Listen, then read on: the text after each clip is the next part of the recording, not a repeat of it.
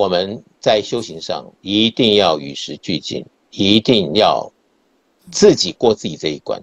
当你自己过自己这一关的时候，不是停下来休息，而是更加的有底气与理由向前大步迈进，所以就会觉得很实在的感觉，没有在浪费光阴。所以不管是礼拜一、礼拜五、礼拜天，你都在秒秒钟精进里，把你的人生、把你的灵命，能够有着更好的交代。所以在超级生涯系统里面，你说来来一天，呃，太快了，改进要改，怎么会那么快？但你来了一年，来了三年、五年，你还在原地踏步的，就要非常谨慎了，因为不进则怎么样？不进则退啊，这个是真的是这样，好，所以一定要把它记得非常清楚。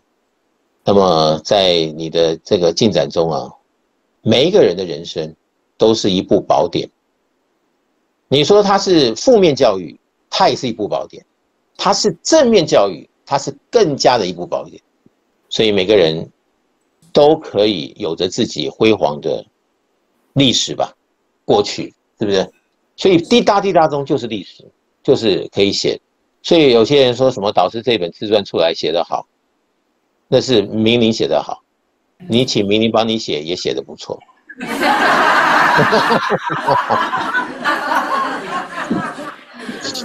那天还有一个学员跟我说：“啊，导师，你这每一篇都是非常好的教材，不是我恭维你，真的事实就是如此。”我也不知道，嗯，小时候那些故事有什么好的教材，反正就是这么过过来了。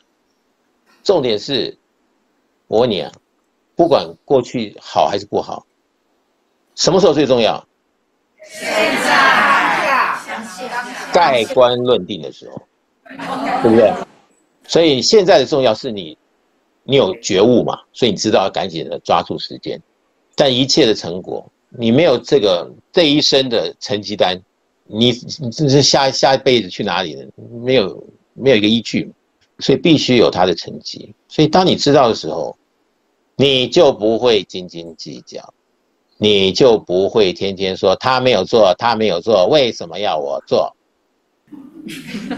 他是丫鬟，他是丫鬟，你是自己填，对不对？那你要你要哪一种？自己选择，自己的道路自己选择，对不对？所以你不要去跟别人比较，说。他也没做，他也没做，他也没做啊！什么都我做，对你应该觉得命真好，没有人跟你抢，是不是？真的这样子啊，真的这样子啊！你把这道理想通，你就好过很多。